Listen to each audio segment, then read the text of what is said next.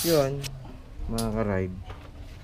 Ito na-adjust ko na yung floater na itong car carburetor and then yung TPS na ito in-adjust ko rin. Tinanggal ko muna tapos sinalpak ko ulit. Yun umokay naman siya. Kanina pag binigyan mo ng gas nag throttle ka dito namamatay. Kaya nilinis ko yung ano yung jet main jet tsaka yung pilot jet. Tapos in-adjust ko yung hangin. Yun lang yun lang naman ginawa ko dito. Wala nang iba. Yan testingin natin. Yan start na siya. One click na. Tapos hindi na siya namamatay yun dito lang siguro nagkaano sa ano sa TPS niya. Nawala sa timing. Kasi nung pagbaklas ko nung TPS tapos binalik ko ayun umokay na nag adjust na lang ako sa airjet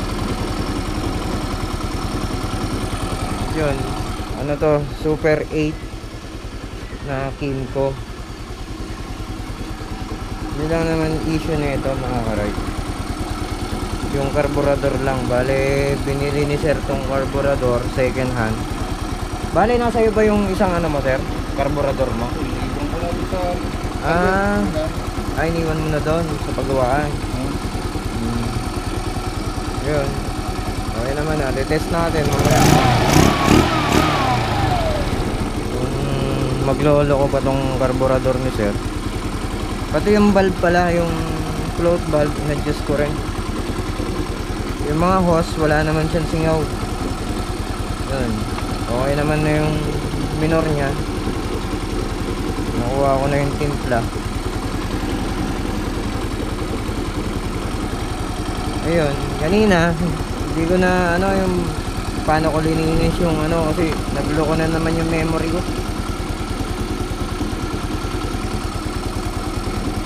Peke yata itong memory na nabili ko. Ayun mga karay Yeah, start ulit natin. One click. Yun. Testing na natin daw mga ka-ride yung Super 8 na ang issue is mamatay pag binibigyan mo ng ano silinyador. Ayan. Ikot lang muna tayo rito. Ganda pa umata, carb lang talaga ang ano problema.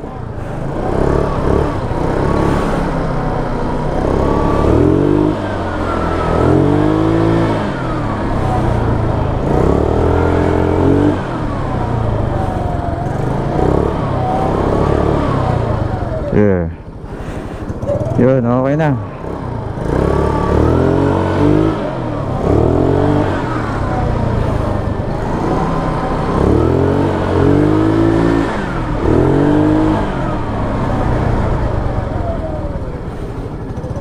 Oh sir, testing mo rin po.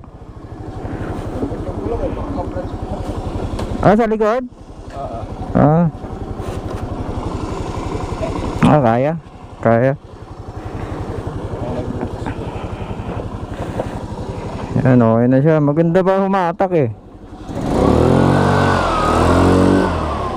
A few moments later. Hinataw na.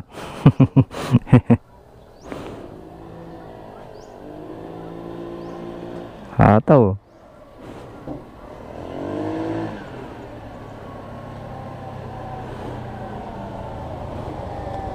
Okay ba sir? Okay. Hindi siya namamatayan pagka yung pumu-full stop. Oo. Nangyayari yun. Hmm. Okay. Good. Job done na naman mga kare. Thank you, Brad. okay sir. Okay. Ganito na mga karide. Tapos na tayo dun sa motor ni sir na Kimgo Super 8. Yan. Dito yan. San Jose del Monte. At yun. Babus na mga karide. Peace out.